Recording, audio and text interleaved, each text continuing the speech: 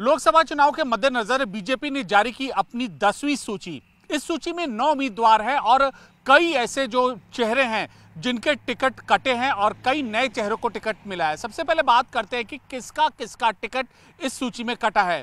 तो बलिया से वीरेंद्र सिंह मस्त हैं, मौजूदा सांसद थे और चार बार के सांसद रहे हैं। उनका टिकट कट गया है, उनकी जगह टिकट मिला है नीरज शेखर को। नीरज शेखर पूर्व प्रधानमंत्री चंद्रशेखर के बेटे हैं। और सपा में पहले थे, सपा से भाजपा में शामिल हुए थे और राज्यसभा सांसद थे। अब वह लोकसभा से बलिया के उम्मीदवार होंगे बीजेपी के टिकट पर। दूसरा जो प्रमुख कटौती हुई है, वह है रीता बहुगुड़ा जोशी की। प्रयागराज से इलाहाबाद लोकसभा सीट से और इनकी जगह टिकट दिया गया है नीरज त्रिपाठी को।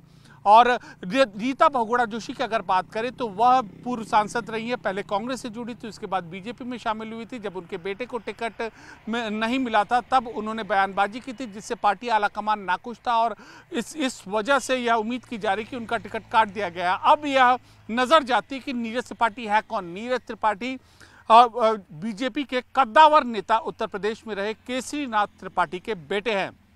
केसीनाथ त्रिपाठी। विधानसभा अध्यक्ष रह चुके हैं, उत्तर प्रदेश सरकार में पूर्व मंत्री रह चुके हैं। और कई अहम पदों पर रह चुके वरिष्ठ भाजपा नेताओं में से एक थे केसरीनाथ त्रिपाठी। उनके बेटे हैं नीरज त्रिपाठी। यह ब्राह्मण बाहुल्य क्षेत्र है, लिहाजा इस ब्राह्मण चेहरे को टिकट लेना, देना और कद्दावर नेता के बेटे को टिकट देना बीजेपी अपने इस वोट बैंक को साधने की कोशिश में जुटी है। तीसरा जो अहम नाम है, वो है S S Ahluwalia. S S Ahluwalia को आसनसोल में शत्रुघ्न सिन्हा के खिलाफ उतारा गया है। पूर्व केंद्रीय मंत्री रहे हैं, मौजूदा समय में पश्चिम बंगाल से ही दूसरी सीट से सांसद थे। अब इनका टिकट बदल दिया गया है और अब आसनसोल से यह शत्रुघ्न सिन्हा के खिलाफ मैदान में उतरेंगे।